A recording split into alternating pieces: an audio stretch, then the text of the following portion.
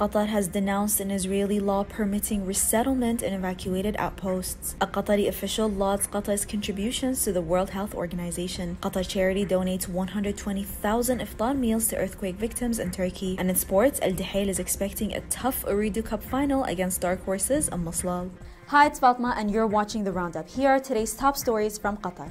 Qatar has strongly expressed its condemnation of the Israeli occupation's approval of a law that allows for the resettlement of evacuated outposts in the West Bank. Qatar's Ministry of Foreign Affairs stated that this law further solidifies the occupation and its expansionist policies, which violates international law and various UN resolutions. Last Monday, the Israeli parliament repealed portions of the 2005 disengagement law, which had ordered the evacuation of four West Bank settlements, allowing settlers to return to the illegal outposts in the occupied Palestinian territory territory. Qatar health official Dr. Hanadi Al Hamed has hailed the country's prominent role in the World Health Organization, saying that it maintained a positive effect on numerous international health policies. Doha's initiatives in several health programs while working with WHO has contributed to the development of the health sector locally and globally. And now Qatar Charity has donated nearly 120,000 iftar meals to those affected by the tragic 6 February earthquake and torrential rains in Gaziantep. The recipients of the donation drive included those who were made made homeless by the catastrophe